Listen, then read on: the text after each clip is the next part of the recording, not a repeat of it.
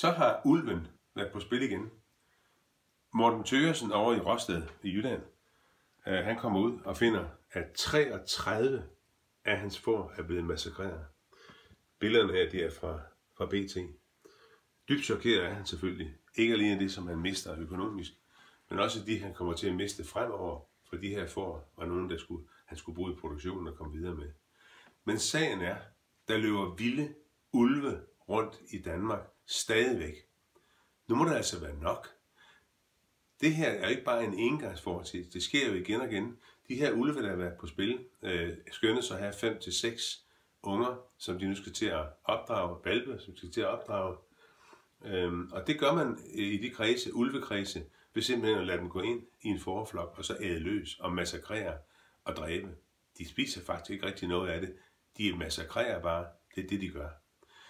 Vi skal ikke finde os i længere at have ulve løbende frit rundt i Danmark. Det er simpelthen for lille et land til det her. Lad det foregå i Sibirien, eller i Nordnorge, eller i Sverige, eller hvor som helst, men ikke i Danmark. Det er nok nu. Regeringen må bede jægerne om at tage affære, og så gøre det forbi med de ulve, vi har i landet. Hej.